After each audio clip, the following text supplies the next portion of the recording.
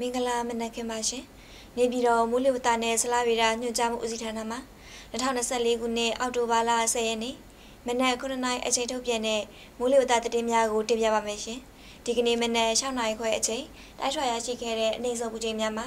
နေပြည်တော်မှာ24ဒီဂရီဆယ်စီယပ်85ဒီဂရီဖာရင်ဟိုက်ရန်ကုန်မြို့မှာ23ဒီဂရီဆယ်စီယပ်83ဒီဂရီဖာရင်ဟိုက်နဲ့မန္တလေးမြို့မှာ25ဒီဂရီဆယ်စီယပ်89ဒီဂရီဖာရင်ဟိုက်တို့ဖြစ်ကြပါတယ်။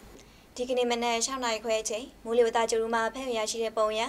ဘင်္ဂလားပင်လယ်အရှေ့မြောက်ပိုင်းနဲ့အရှေ့လယ်ပိုင်းတို့မှာတိမ်နှဲငယ်မှာတိမ်အသေးတဲ့ဖြစ်ထွန်းနေပြီးကပလီပင်လယ်ပြင်နဲ့ကျန်ဘင်္ဂလားပင်လယ်တို့မှာတိမ်အသေးတဲ့မှာတည်တူထက်နေပါတယ်မြန်မာနိုင်ငံပေါ်မှာကတော့စကားဒေသကြီးထပ်ပိုင်းနဲ့တနင်္သာရီဒေသကြီးတို့မှာမိုးတင်တောင်များဖြစ်ထွန်းလျက်ရှိပြီးအဆိုပါမိုးတင်တောင်များယူလျက်နေရာတစ်လျှောက်မှာမိုးရွာသွန်းခြင်းနဲ့အတူလေပြင်းတိုက်ခတ်ခြင်းမိုးထချုံခြင်းမိုးကြိုးပစ်ခြင်းလျှက်စီးလက်ခြင်းနဲ့မိုးတိကျွေခြင်းစတဲ့မိုးလေဝသဖြစ်စဉ်များဖြစ်ပေါ်နိုင်မှသဖြင့်ကြိုတင်သတိပြုနိုင်ပါရန်အကြံပြုအပ်ပါတယ်ကျန်ဒေသကြီးနဲ့ပြည်နယ်များမှာတိမ်နှဲငယ်မှာတိမ်အသေးတဲ့ဖြစ်ထွန်းနေတာကိုတွေ့ရပါတယ်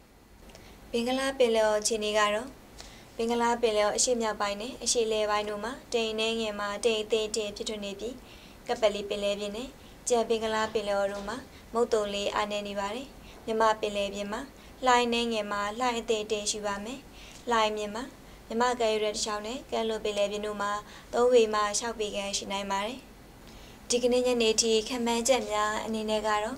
တနင်္သာရီတိုင်းဒေသကြီးမှာနေရာစိတ်စိတ် ကချင်ပြည်နယ်စကိုင်းတိုင်းဒေသကြီးထပ်ပိုင်းရှင်းပြည်နယ်မန္တလေးတိုင်းဒေသကြီးနေပြည်တော်ရှမ်းပြည်နယ်တောင်ပိုင်းအရှေ့ပိုင်းကရင်ပြည်နယ်နဲ့မွန်ပြည်နယ်တို့မှာနေရာကျကျ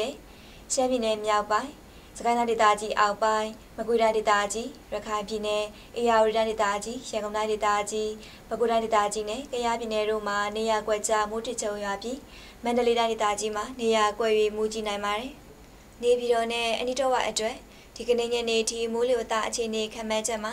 နေသားချင်းရှိပြီးမိုးထစ်ချုံ၍နေရာကွက်ကြားမိုးရွာပါမယ်။အမြင့်ဆုံးပူချိန်မှာ35ဒီဂရီဆယ်စီယပ်65ဒီဂရီဖာရင်ဟိုက်ရှိနိုင်ပါတယ်။ရန်ကုန်မြို့နယ်အနီးတစ်ဝက်အတွက်ဒီကနေ့ညနေထိမိုးလေဝသအခြေအနေခန့်မှန်းချက်မှာတိမ်အသေးတဲ့ဖြစ်ထွန်းပြီးမိုးထစ်ချုံ၍နေရာကွက်ကြားမိုးရွာပါမယ်။အမြင့်ဆုံးပူချိန်မှာ35ဒီဂရီဆယ်စီယပ်65ဒီဂရီဖာရင်ဟိုက်ရှိနိုင်ပါတယ်။မန္တလေးမြို့နယ်အနီးတစ်ဝက်အတွက် ဒီကနေ့ညနေထိမိုးလေဝသအခြေအနေခန့်မှန်းချက်မှာနေသားချင်းရှိပြီးမိုးထချုံ၍နေရာကွက်ကြားမိုးရွာပါမယ်။အမြင့်ဆုံးပူချိန်မှာ36ဒီဂရီဆယ်စီယပ်69ဒီဂရီဖာရင်ဟိုက်ရှိနိုင်ပါတယ်။နောက်နေ့ရက်အတွက်ခန့်မှန်းချက်များအနေနဲ့ကတော့ကပလီပင်လယ်ပြင်နဲ့ပင်ကလားပင်လယ်တောင်ပိုင်းတို့မှာမုတ်တုံလေးအားနေနေပါမယ်။အခုတင်ပြခဲ့တာကတော့ဒီကနေ့မနေ့9နာရီအချိန်ထုတ်ပြန်တဲ့မိုးလေဝသသတင်းများပဲဖြစ်ပါတယ်။ကိုစိတ်နှပြချမ်းသာချမ်းသာကြပါစေရှင်။